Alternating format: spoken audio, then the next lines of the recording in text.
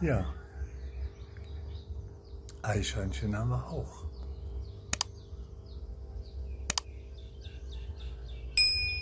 Am frühen Morgen hampeln sie hier über die Stromleitung.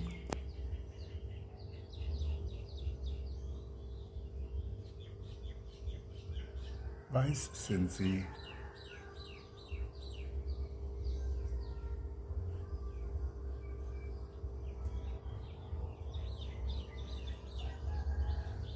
Und ab in die Bäume.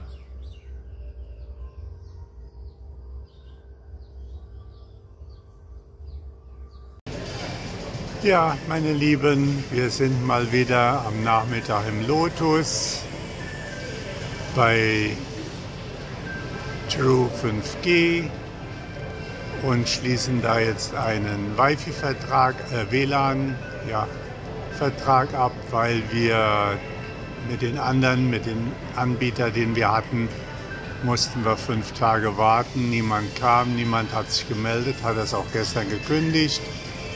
Und danach holen wir uns noch einen Fernseher und jeden Tag ein bisschen mehr. Ja, das Wort in Ruhe gucken geht hier nicht. Beratung ist Beratung. Aber die hier sind alle um die Hälfte reduziert, weil sie jetzt so eine Angebotswelle haben. Der sieht auch ganz gut aus. 6000. Ja, schauen wir mal, was wir uns zulegen. Da ist schon der nächste.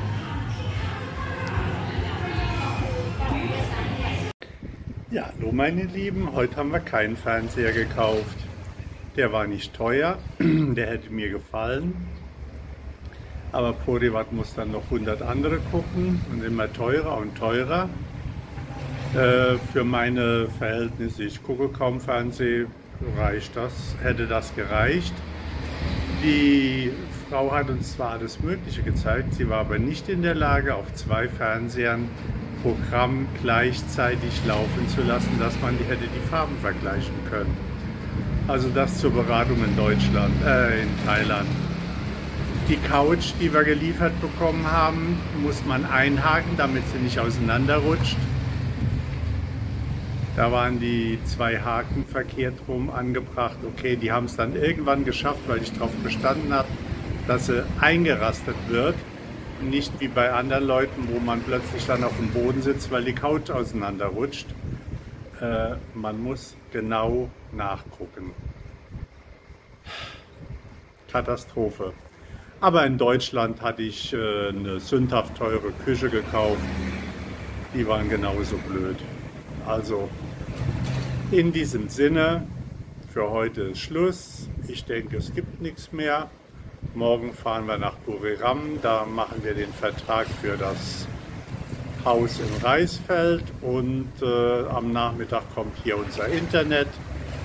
Dann sind wir auch wieder etwas flotter unterwegs. Bis dann, ciao, ciao.